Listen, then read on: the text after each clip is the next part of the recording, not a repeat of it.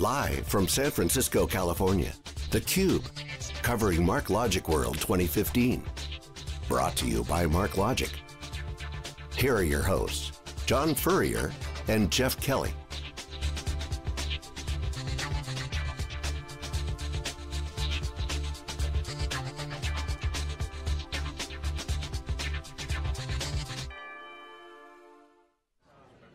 Hello everyone, welcome back. This is theCUBE, live in Silicon Valley from MarkLogic World 2015. I'm John Furrier, my co-host Jeff Kelly, Chief Analyst with Big Data for Wikibon. Our next guest is Paul Lilford, Global Director of Technology Partners of Tableau Software. Welcome back to theCUBE, great to see you. Great to be back, guys. Um, we cover your events multiple years in a row. Tableau, fabulous company, big fans. Um, just because, just great product, great people, great market growth, perfect timing in the tornado of innovation around big data, visualization. It's been a great ride for you guys. It's been fun to watch and document the evolution of Tableau, so congratulations.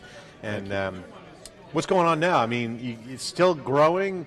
I mean, the cloud has brought huge enablement to your business. Companies like MarkLogic's platform allows developers to be unshackled, or as Gary Bloom said, take that straight jacket off of your data and flex some, some muscles, if you will.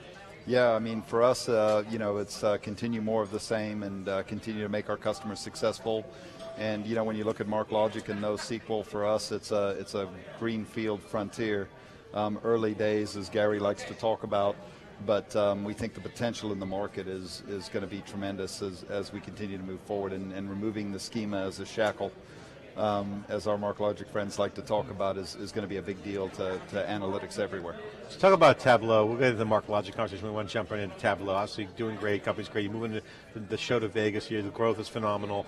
You got competition. I was at Amazon uh, Summit last week, and uh, David Floyer and I from Wikibon were discussing he thinks Amazon might be peaking. I'm like, I don't think so.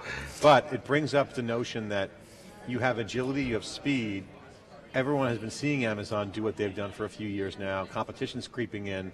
Certainly everyone's on notice. You guys are in the same boat. Competition is out there. What's going on? I mean, how do you feel the heat? Are you extending your lead? What are you guys doing with competition? And what are you guys doing to continue the pace of innovation to extend yeah. your lead in visualization? Well, well, so for us, you know, we, we, we never really look directly at what the competition's doing or, or base what we're doing on that. So we just released version 9 of our product. If you look at what we did in it, it's got major features across the board, um, whether it's um, parallel calc, um, just the speed of the server interactions, um, the, the kind of a relook at the UI in general. So you know we continue to do that year over year, put major features into the release, and we, we still put 26% of our top line back into product and uh, our plan is to continue that and, and, and hopefully that'll remain an advantage. But we also think competition is good for the space right? The space has evolved in part because um, we've been there and some of our competitors have been there. And uh, you know, we we, we will not base what we do on what anyone else is doing. It's what makes Tableau beautiful. Um, at the same time, we you know we do see more pressure in the space to, to compete. Okay, so I'll ask differently so you don't pull out page 14, question 13. exactly. PR response. Um, Innovation, what are you guys doing specifically around innovation now? Obviously, unstructured data has been around for a while. You got kind of that baseline, yeah. foundational uh, market. Uh, talk specifically about cloud, Amazon. Yeah. As, as, people move to the cloud, how has that changed your business model, and has it, how, how has it changed your innovation strategy? Yeah, so so for us, it's been a big one. I mean, Amazon's one of my most strategic partners, um, so we partner very closely. The cloud has changed the game for everyone, in my view. Um, it, it's made the disposable analytic a possibility. The speed of deployment has changed completely for customers, and so for us, we've got big investments in Tableau Online. Um, we've we've made our cloud connectivity sources with Amazon and others stronger. Um, and we're going to continue to do that. I think cloud's the one factor that's out there that's impacting the entire ecosystem of, of storage and databases and everyone, right? It's not a, just a Hadoop thing or just a traditional database thing or a NoSQL thing. Mm-hmm. It's a it's a accessibility to more information at great speed, and and so I, I think what Amazon's doing is tremendous in the market. Um, we're excited about what we're doing with them, um, but it also creates you know some interesting new challengers that'll come into the space that'll be small and agile and quick with, with low cost of overhead to operate. And, and that model plays in a lot of ways. So, you know, our, you'll see across the board our strategy with cloud and online mm-hmm. Continues to, to evolve and, and a lot of focus for Tableau uh, related to them. Let's talk about the intersection with big data. So, uh, yeah, I was at the Cloudera analyst event, oh, I guess a couple months back now, and they mentioned that one of the leading drivers for them in terms of their new business is people wanting to use Tableau on top of Cloudera's Hadoop distribution to visualize big data. Um, we're here at the MarkLogic show, a NoSQL database. Uh, talk about how that movement, both Hadoop and NoSQL, has impacted your business. How do you look in terms of partnerships, you, which you oversee? How do you look at structuring those partnerships and how do you get the most out of those relationships?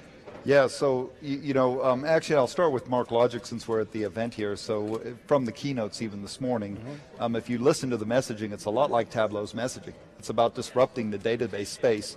We did that in analytics and BI, mm-hmm. and we're going to continue to do it there. But it's interesting to see the traditional technologies taking the hit the way they are. Like the the schema is an old way to think, mm-hmm. and the new stack way of doing it is Hadoop or NoSQL or you know any of those technologies. So we love the disruptive methodology and the message because we think it helps customers innovate and innovate quickly and, and get better value out of their assets. Mm-hmm. Um, at the same time, um, our connectivity has always been through kind of the standard SQL interfaces of the world. Mm-hmm. So we're going to continue to adapt how we do that over time um, mm-hmm. to take advantage of, of what those storages, mm-hmm. the, those stores do. And well, and as disruptive as the big data players are, there's going to be, you know, uh, traditional data warehouses aren't going away, and traditional databases That's aren't right. going away. But then you've got new approaches like MarkLogic and Hadoop complementing those. Um, how does that make your job tougher when you've got even a, a more complex data landscape, if you will, that Tableau's got to kind of connect into? Yeah, so you know it does make it fun. We connect over 42 sources today, and then we have this other ODBC option, which allows hundreds of others. Mm-hmm. Um, and so it makes it always challenging to, to connect and do that with an experience that people can really you know appreciate and leverage. Um, but you know I think for the market it's it's overdue, right? The the the same in BI we saw, which was you know the the bottleneck of going to IT to ask for a request so you could build a report uh, was kind of an old thought.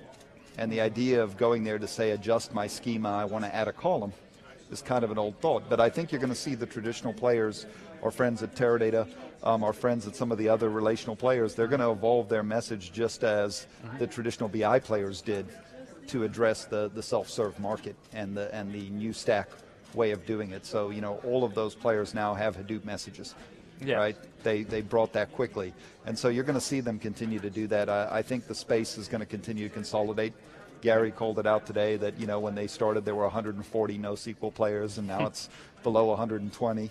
And I think you'll continue to see that happen a bit, and, and they'll be the top, you know, top 30, 40 yeah. or so standing, and, and then the rest. Yeah, right? I, I completely agree. We're definitely going to see some consolidation, but so, Paul, whenever we talk, one of the things I love to ask about are what are the cool stuff you're seeing from your customers, maybe some of your joint MarkLogic customers? What are some of the cool things you're seeing out there that's uh, kind of getting you excited? Yeah, so, you know, we're, we're still early stages with NoSQL, mm-hmm. um, but, um, you know, their bitemporal feature is one that kind of geeks me out personally, um, doing things like slow changing dimensions and, and dealing with like real business problems around it. It's a hard thing to visualize. Mm-hmm. You say bitemporal to a CFO and they'll look at you like, what does that mean? but if you say, hey, you know, the time at which you achieve data and you're reporting it, was actually incorrect based on your, your, your view at that time. So that's a feature that kind of uh, in, intrigues us. We've done a couple of use case demos around it, mm-hmm. um, but more and more we're starting to see the application of our name connector. Um, so we're getting more and more data as to what people want to do and how they do it. Um, unstructured is tough to visualize at times, right? When you've got a mm-hmm. sea of text, you know, how do you visualize it? So um, we're starting to get better information, but I still think we're so early, Jeff, that it's it's hard to know, you know, which use case is going to be the most common. Text search is one. Mm-hmm. Um, bitemporal, I think, is going to be a massive feature. Um, but so early in that that it's, it's hard to know exactly the application or use cases. Mm-hmm. I can think of 10 or 15 that would geek me out, but maybe not as much for customers. So Paul, I got to ask the hard question because it's on our mind. We always ask stuff that we're thinking about to see if we can't crowdsource little cube data from our guests, extract that signal out of your brain and share it with, with the guests here on the cube as well as ourselves. Um, the data world is changing. You know, data data geddon was a, a phrase coined on Silicon Valley show on HBO, um, which got a lot of laughs on Twitter. But the reality is, is these platforms out there are all hoarding their data and they're not sharing. LinkedIn, Facebook, Twitter are examples on the social network. Um, yet customers want free-flowing data, and APIs are the norm.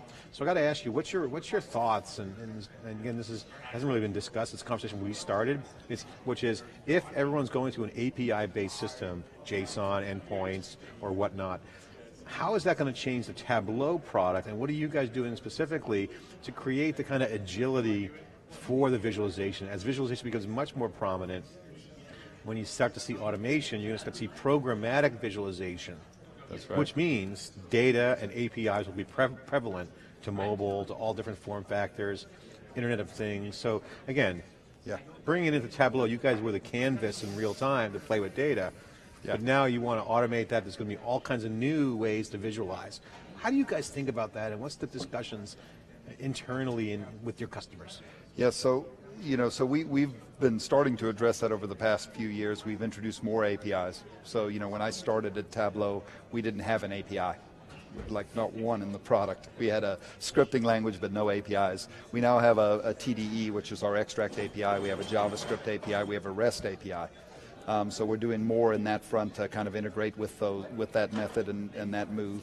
Um, you know, we've, we're, we're thinking about connections to things like JSON and uh, directly. So you'll see us introduce new connection types over time.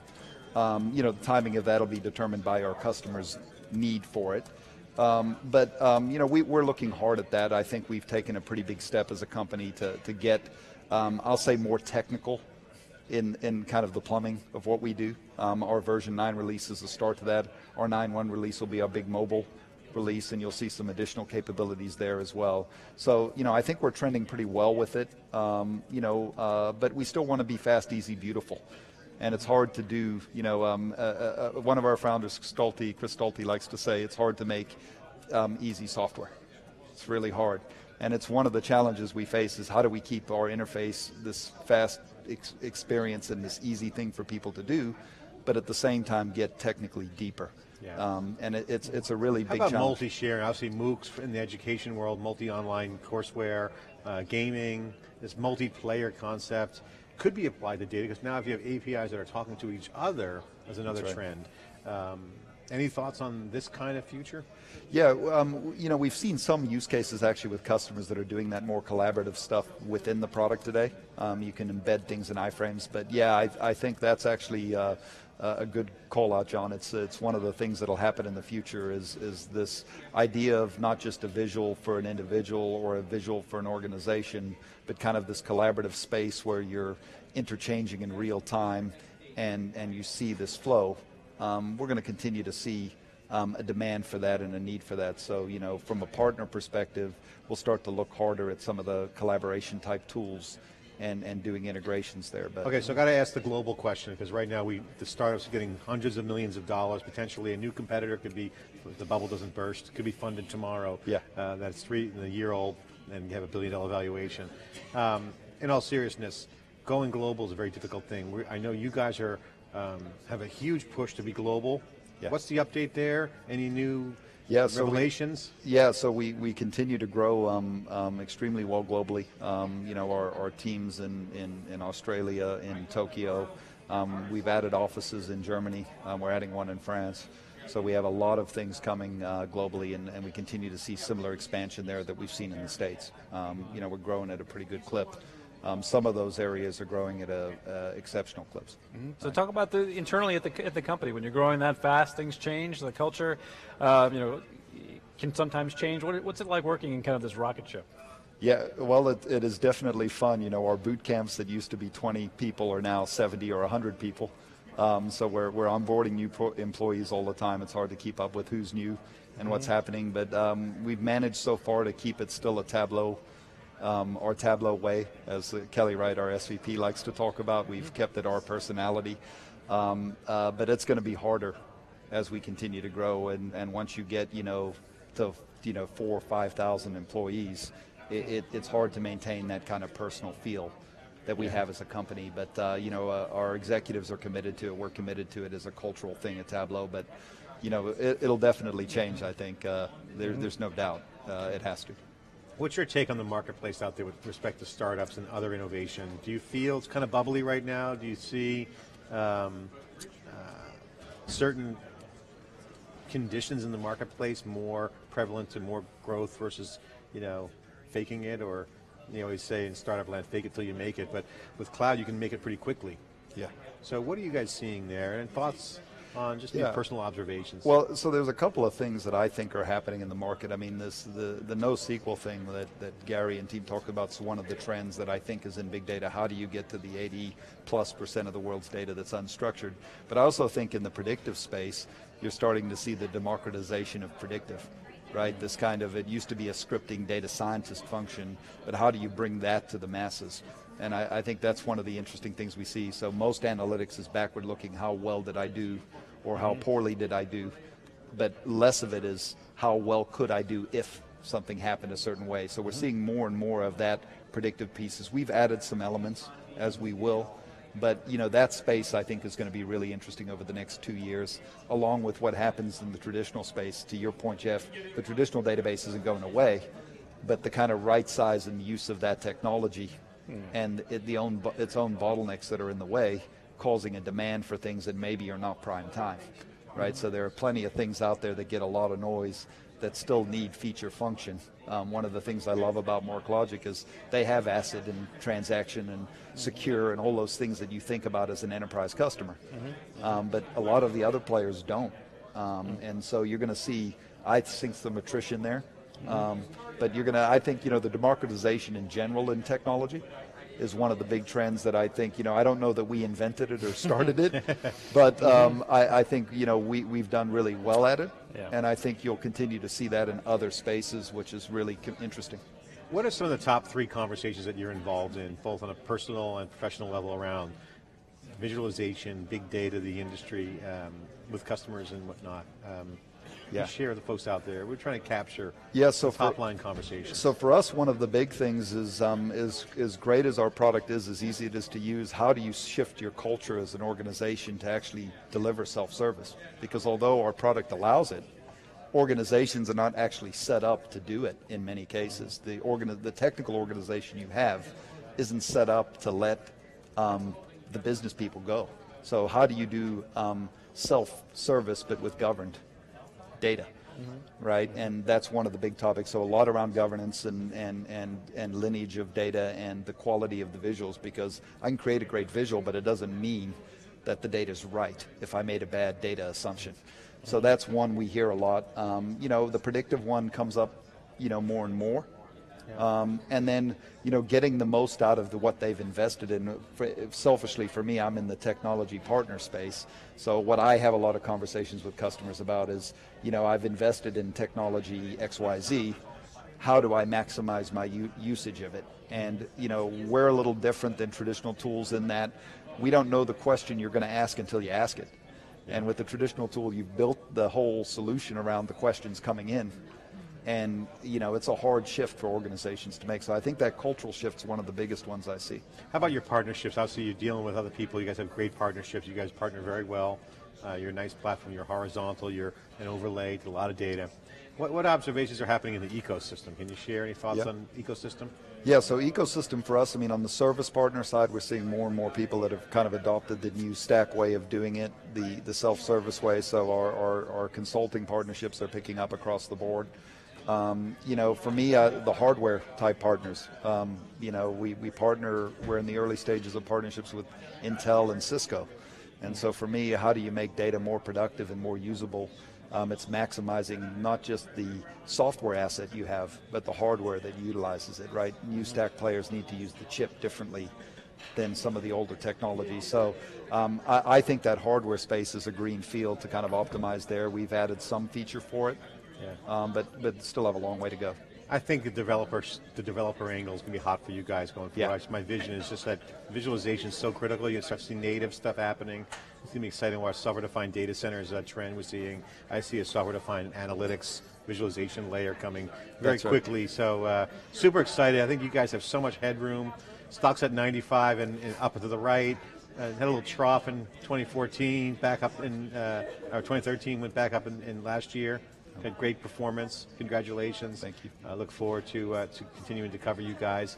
Um, just final question: um, What's going on with uh, under the hood here at MarkLogic? What's your thoughts with these guys? And and uh, give us a quick plug on what's going on with MarkLogic. Yeah, so you know, for me, as as I mentioned, I love their their kind of disruptive message. Um, uh, I think we've only just started to scratch the surface. We partnered with them for two and a half years, so it feels like we've been around a long time, but, but I don't think we've really even scratched the surface yet of the opportunity in, in this space. Um, so as kind of the content store idea becomes more prevalent, um, the unstructured schemaless piece becomes uh, more common day, I think you'll see more and more, but but still so early day in my view. Even after two and a half years, yeah. it feels like we just started. What is the big thing about MarkLogic that you would share with folks watching out there um, that they might not know about? I mean, these guys are seasoned vets. They've got some great tech, certainly full stack. What, what, what's the big thing that people might not know? I mean, they're not, you know, they're not big, you know, front page, New York Times, you know, unicorn company, but they're doing some amazing things. They're just yeah. moving the chains, you know, day by day, delivering great value for their customers, kind of like Tableau, in a yeah. Um, yeah. Well, what's what's the thing so, about these guys that no one that people should know about that they might not know about? Yeah, so for me, they, they definitely have one of the sexiest technologies around in, in their space, and and and you know, sexy is going to sound weird here because it's about compliance and auditability and transaction control and not losing that's your nuts data. and bolts. It can be but, sexy. But but but for me, that that's a really critical thing. Yeah. Right. It's it's if if I can't trust the data that I've got or that it's safe um, and I'm in banking or if I'm in healthcare or if I'm in some of the places yeah. I came from, then it's it's a it's a game stopper, right? Yeah. And so I, I, think it's really uh, as a technology powerful. Um, I love what they did in their version 8 release. So they made it easier. They started giving away training. Um, you know, we love that at Tableau, so they started to do a lot of that. And, and for me, it's a it's a big. big they got a good business model. Yeah, it's great. Well, you know, you just said sexy, and nuts and bolts can be sexy, kind of doing the blocking and tackling yeah. to create value. Might be boring on, on, on terms of headlines, but it's sexy in the sense of it's very tableau-like. I mean, at your conference, you know, probably one of the highlights. I was talking with one of the MarkLogic executives. Is like, you know, these customer stories look boring on paper.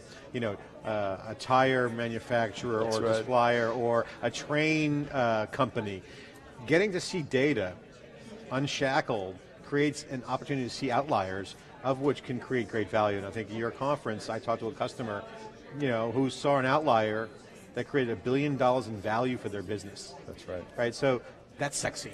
It Money is. is. sexy, right? That's so, right. I mean, business value, this is the new normal yeah. that you see. Do you agree? Yeah, I, I, do. I mean, one of my favorite analogies ever is, you know, no one cares about plumbing until you dig up your yard to fix it and then you all of a sudden care about it. and the beauty of, of, of, a great data store, a great technology is, is when it's working, you don't think about it. Well, the second it stops, you it's everyone's front of mind. As Jeff Kelly and Dave Vellante could attest, if you live in Massachusetts and want to put a septic tank in, not only does it look bad after it's like a six foot mound in your yard, that's right. Place. That's right. You got to fix the landscaping too wow. after that. All kinds of rip and replace going on there. Paul, thanks for coming on the Cube. Always great. Tableau, uh, one of the best companies on the planet right now. Love what they do, love your product. Obviously, we're big fans, and, and obviously, uh, the track record you guys have is amazing. Here at the MarkLogic World 2015, this is theCUBE. I'm John Furrier with Jeff Kelly. We'll be right back with our next guest after the short break.